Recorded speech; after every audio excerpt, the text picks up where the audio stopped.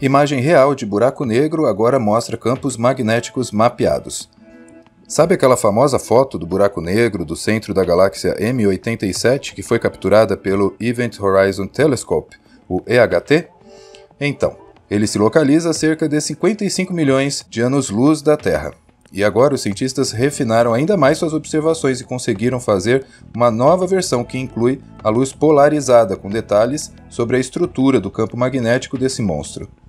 A imagem do M87 revelada pelo EHT em 2019 mostrava um anel difuso de matéria ao redor do buraco negro, que também é conhecido como horizonte de eventos, que é justamente a região de onde a luz não pode escapar e por isso nada podemos enxergar ali.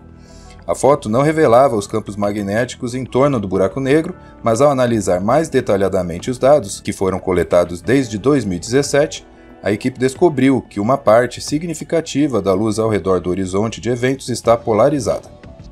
A estratégia usada pela equipe do EHT foi tentar descobrir como os jatos são criados, ou seja, como partículas de matéria podem se aproximar tanto do buraco negro e serem arremessadas para longe através desses jatos. A maior parte da matéria próxima cai no sumidouro galáctico, mas uma fração consegue escapar um pouco antes da ruptura e se transforma nos jatos relativísticos.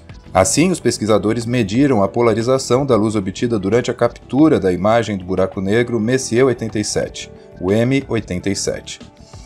Determinados filtros, como lentes de óculos tridimensionais que utilizam um método de polarização e ainda outros fenômenos que acontecem no espaço, podem fazer as ondas de luz vibrarem apenas em uma determinada direção, enquanto a onda de luz não polarizada vibra para todas as direções. Ao determinar a polarização da luz emitida pelo disco quente que gira ao redor do buraco negro, os astrônomos conseguem mapear as linhas do campo magnético na região, ou seja, a imagem indica como é a estrutura do campo magnético do jato, um tipo de mapa que só foi possível graças à colaboração de 300 pesquisadores de várias partes do mundo e imagens de diversos telescópios de alta resolução unidos, que criaram um gigantesco telescópio virtual do tamanho da Terra. Essa é a primeira vez que astrônomos conseguem observar a polarização e a assinatura de campos magnéticos próximos da borda de um buraco negro. A pesquisa, inclusive, pode explicar como o M87 consegue lançar os jatos de 6 mil anos-luz de comprimento.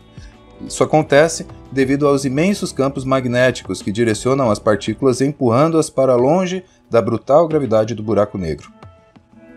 Claro, isso não deve responder todas as perguntas sobre a formação desses jatos de buracos negros, mas as imagens de luz polarizada ajudarão muitos pesquisadores a estudar o papel dos campos magnéticos existentes perto de horizontes de eventos. A pesquisa foi publicada em dois artigos separados no The Astrophysical Journal Letters, em colaboração com o EHT. E se você gostou do vídeo, não se esqueça de deixar seu like, de se inscrever no canal e de ativar o sininho para receber as notificações e não perder nenhum vídeo novo. Obrigado por acompanhar o canal Galeria do Meteorito e até a próxima!